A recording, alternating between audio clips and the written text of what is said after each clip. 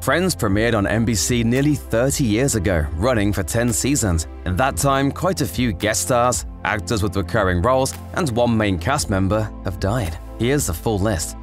Friends fans were shocked on October 28, 2023, when news broke that Matthew Perry had died at the age of 54. The cause has yet to be determined, but as of the making of this video, he died in an apparent drowning in his hot tub at his Los Angeles home. He was best known for his role as Chandler Bing, the quick-witted and sarcastic member of the Friends core cast. When in doubt, Chandler could always be counted on to deliver a clever quip. Can I interest you in a sarcastic comment? Over the course of the show, Chandler experienced some of the best character development out of all six of the friends. In the beginning, he was the embodiment of a non-committal man-child and corporate hanger-on. By the time he began his relationship with Monica at the end of season 4 and into season 5, he showed signs of maturity and responsibility. The two marry in season 7, episode 23, the one with Monica and Chandler's wedding, and welcome a pair of twins in the series finale, The Last One. Perry continued his career in television with prominent roles in Aaron Sorkin's Studio 60 on the Sunset Strip and his own revival of The Odd Couple. He also published his best-selling memoir, Friends, Lovers, and the Big Terrible Thing, in which he detailed years of addiction issues. If Friends had a seventh friend or a character most familiar to even casual viewers beyond the main six, it was Gunther, the manager of the gang's coffee shop hangout. He was often seen flitting around in the background at Central Perk, waiting on customers and pulling espresso shots while rocking a tie, a loud shirt, and tightly cropped bleached blonde hair. On the occasion that Gunther spoke in one of his more than 150 appearances, it was to quietly and forlornly express his unrequited love for former co-worker Rachel, or to deliver a blistering barb against her on-again, off-again boyfriend Ross. When's your birthday? May 5th. Why? Oh, I, I, I'm just making a list of people's birthdays. Oh, mine's December. Yeah, whatever. In real life, to help pay the bills between gigs in addition to his continuing role as Gunther, actor James Michael Tyler worked at a Hollywood coffee shop called The Bourgeois Pig. He told BuzzFeed in 2014, I was one of their first baristas. I think I started there in 1990 or so. He appeared on the long-awaited, long-delayed Friends reunion special in 2021, but via Zoom because of health concerns. Tyler told Today that he'd been diagnosed with advanced prostate cancer in 2018, and the disease had spread to his bones. In October 2021, the 59-year-old actor died. Jennifer Aniston, who played Rachel, wrote in an Instagram post, Friends would not have been the same without you. Thank you for the laughter you brought to the show and to all of our lives. You will be so missed.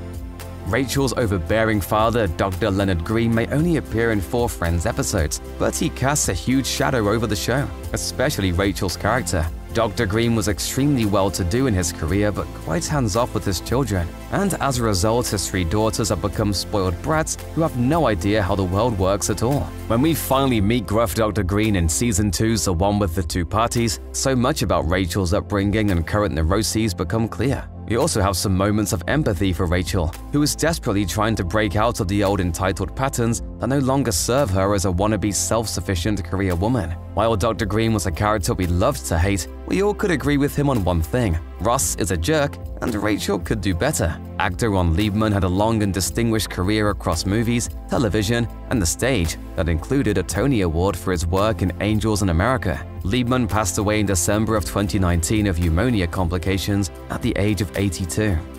Mr. Treeger was the gruff, no-nonsense superintendent of the New York City apartment building in which Monica, Rachel, Chandler, and Joey resided on Friends, and he factored into the plots of five episodes between 1995 and 2001. Probably the most memorable occasion came in the 1997 installment, the one with the ballroom dancing. After catching Rachel stuffing the trash chute and making her cry, Mr. Treeger decides to evict her and Monica from the building, leading Joey to stick up for his friends and agreeing to be the Super's ballroom dance practice partner at a superintendent's ball. Portraying Mr. Treeger was a prolific and highly recognizable character actor Mike Hagerty, known for his mustache, his Chicago accent, and his tendency to play working-class characters. Before Friends, he played a cable TV station employee in Wayne's World and the best friend in Overboard. After Friends, he appeared in Brooklyn Nine-Nine, Shameless, and in 2022, he was part of the main cast of HBO's Somebody Somewhere. The star of that show, Bridget Everett, announced on Instagram that Hagerty had died on May 5th, 2022, writing, A beloved character actor, His love of his hometown of Chicago and his family were the cornerstones of his life. According to TMZ, Hagerty suffered a negative reaction to an antibiotic used to treat a leg infection, and he fell into a coma. The actor was 67 years old. Before Gunther, for a brief moment in Friends history, there was Terry, a surly coffee shop owner whose tongue was as sharp as his black coffee. While only on screen for two episodes, Terry offered one of the most cruel descriptions of Phoebe's music. It's so dreadfully mean it somehow comes all the way back around to funny. She makes me want to put my finger through my eye into my brain and swirl it around. It's also courtesy of Terry that we have one of the show's most memorable cameos, as Chrissie Hynde from The Pretenders plays an open mic set at the cafe. Eventually, Phoebe even teaches her the chorus of her infamous ditty Smelly Cat. While actor Max Wright might be better known for his turn as Mr. Tanner on Alf, his mark on Friends as Terry is indelible. Wright passed away at the age of 75 in June 2019 after a long battle with cancer. A key part of Monica's character arc finds her chasing her lifelong dream of being a chef, and on her difficult road down that path, she writes a review of Alessandro's Italian restaurant for the Chelsea Reporter. The review absolutely eviscerates the establishment to such a degree that its owner, Alessandro, actually comes to Monica's apartment to chew her out. While there, Monica learns that the reason the food was so bad was because Alessandro doesn't actually know how to cook. Also, he's not even Italian, he's Lebanese. After tasting Monica's food, a begrudging Alessandro invites Monica to be his new head chef, which turns into another huge conflict as the old head chef was literally related to everyone else on staff, so their anger turns to her. She concocts shenanigans with Joey to get her new staff to take her seriously. Actor Taylor Negron, who memorably brought Alessandro to life, was diagnosed with liver cancer in 2008 and succumbed to the illness in January 2015 at the age of 57. Ross Geller's relationships are so dysfunctional he's on a first-name basis with his divorce attorney, Russell. Russell is constantly disturbed by Ross's compulsive behavior, but he also recognizes a cash cow when he sees one, calling Ross one of his favorite clients thanks to all the business. Ross got divorced not once, but twice in a year. First from Emily Waltham after saying Rachel's name at the altar, and then later from Rachel after a blackout drunk drive through Elvis' wedding in Vegas. Russell is the one to give Rachel the unfortunate news that Ross didn't actually file the annulment papers since he didn't want to be divorced three times. Russ! Are you crazy? I'm still your wife! The moment has big consequences for the entire gang, not just Rachel and Ross. Played by Ron Glass, who was better known for his roles on Barney Miller and Firefly, Russell was a rare voice of reason on Friends. Glass passed away in November 2016 of undisclosed causes at the age of 71. Friends didn't often go into dream territory, rarely exploring alternate avenues for the characters or offering fresh perspectives on the past and future. But thankfully, fans do have the two parts The One That Could Have Been, which dives into an alternate universe in which Rachel married Barry. Monica never lost all that weight. Joey stayed on at Days of Our Lives. Chandler is an aspiring comedian. Ross and Carol remain unhappily married. And in the biggest twist of all, Phoebe is an investment banker who chain smokes rather than a floopy vegetarian masseuse with a unique fashion sense. It's in Phoebe's portion of the story that Paul Gleason, perhaps best known as Vice Principal Vernon from The Breakfast Club, appears as her boss, Jack. He's concerned after Phoebe loses millions of dollars on a bad deal and has a heart attack. Gleason passed away in May 2006 at the age of 67 after struggling with mesothelioma and lung cancer complications caused by asbestos exposure. One of the other narrative tricks that kept things lively on Friends was the overwhelming number of celebrity cameos, with A-listers often playing love interests for the gang. One of the rare non-romantic cameos comes courtesy of Robin Williams and Billy Crystal as Thomas and Tim in the one with the Ultimate Fighting Champion. Thomas and Tim make their way onto the gang's couch in Central Perk on a particularly busy morning, as a hysterical Thomas tries to figure out who might be having an affair with his wife. As it turns out, the culprit is Tim himself, which unfolds in dialogue that was improvised by Williams and Crystal on set, according to Screen Rant. And you are no longer my friend. We are finished. The gang is in awe, and rightfully so, watching these two comedic masters at work. Heartbreakingly, Robin Williams died by suicide on August 11, 2014, after a long struggle with a number of physical and mental health issues. He was 63. Ross Geller famously had a pet monkey during the first season of Friends. Marcel is a capuchin who starts off sweet but quickly grows more and more aggressive as he ages, leading to an uncomfortable adulthood in which he cannot stop humping everything around him, including Rachel's childhood stuffed animals. As his friends get more and more annoyed with Marcel's disruptions, Ross decides to let the Bronx Zoo adopt him. But when he goes to visit, he finds out from shifty zoo administrator Dean Lipson that Marcel has died. Or has he? The intrigue builds when a janitor tells Ross that Marcel has been shipped out to California to become an actor in Hollywood, and the zoo wants to keep the information under wraps. And Ross finds out that Marcel will be starring in Outbreak 2 filming locally, he's able to say goodbye to his old friend with his favorite song, In the Jungle. Comedy icon Fred Willard might only have been on screen briefly in Friends as Lipson, but he brought his characteristic snark to the role in a way that played perfectly with Ross's natural suspicion. Willard passed away in May 2020 of a sudden heart attack at the age of 86, never having retired from acting.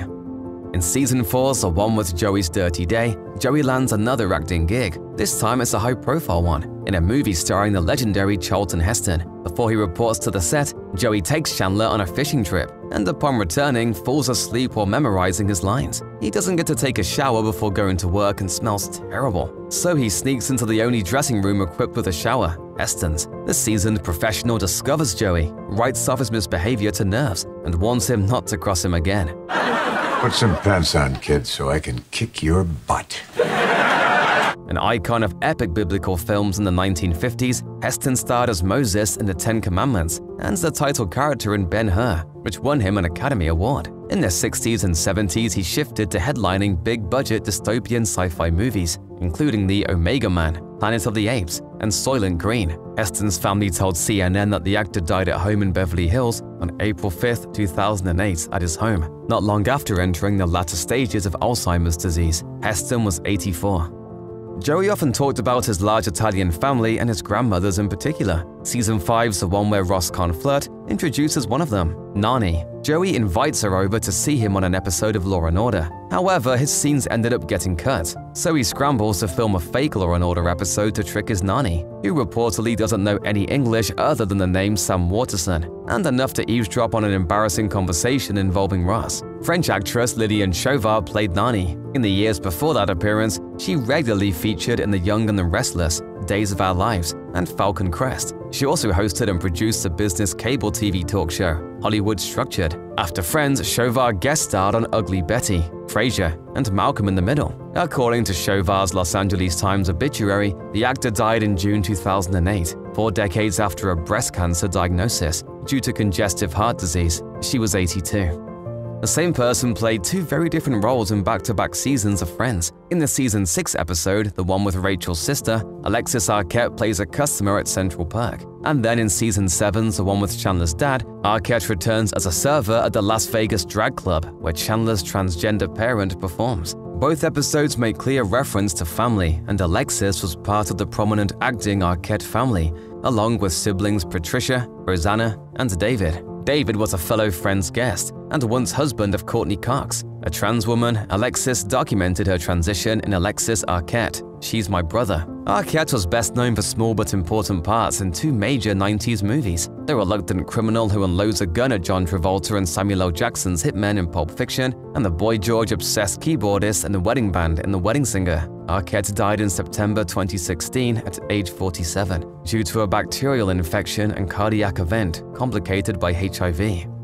Stan Kirsch was only on one episode of Friends, but it was a very memorable one that would possibly cause some controversy if it aired today. In the one with the ick factor, Monica goes to a college party and pretends to be 22 instead of her actual age of 26. She meets a cute guy named Ethan who says he's a senior, and Monica agrees to go out with him even under her false pretenses, thinking he's in college. After the two sleep together, Monica finds out that Ethan is really a senior in high school and only 17 to boot, making this not just an ick factor, but an actual crime in some places. My lie didn't make one of us a felon in 48 states.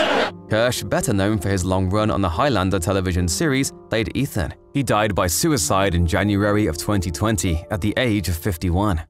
Iris is Monica's aunt who shows up in the season 1 episode, the one with all the poker. She is a bit abrasive and rough around the edges, which is probably why Monica seeks her assistance in helping her and her friends learn how to play poker. Aunt Iris is apparently an old card shark who's been playing poker since early childhood. She agrees to help but is rude, impatient, and claims to have hit Tony Randall with a car. But that was just a lesson in bluffing. Beverly Garland played the sketchy aunt, one of nearly 200 roles in a nearly 60-year career. No, that's bluffing. Lesson number one. She started off in low-budget movies like It Conquered the World and Swamp Women, then portrayed Barbara Harper Douglas in My Three Sons, one of the dozens of sitcom parts. In December 2008, the Los Angeles Times reported that Garland died at her home in the Hollywood Hills following a long period of illness. Garland was 82.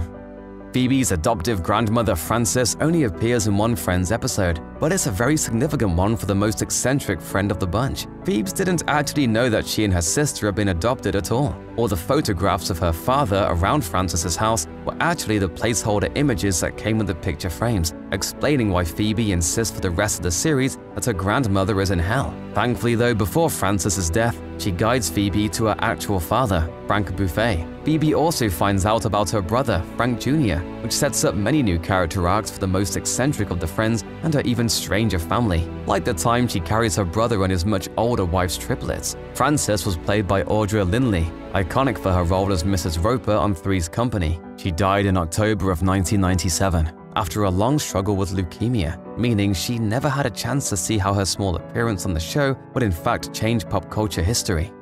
Sadly, too many Friends guest stars have passed away to discuss them all in full in this video. The others include Gary Collins, who played himself, Conchata Ferrell, who played a judge in Season 6, Joel Beeson, who played Todd the Ombre Man, Mary Pat Gleason, who played Nurse Sizemore, Shelley Berman, who played Mr. Kaplan, Peter Dennis, who played Sherman Whitfield, Kelly Waymire, who played Colleen, Gretchen Wyler, who played Mrs. Burkhardt, Phil Leeds, who played Mr. Edelman, Elena Reed Hall, who played the admissions woman, Richard Rote, who played Bert, Danny Dayton, who played Buddy Doyle, Paxton Whitehead, who played Mr. Waltham.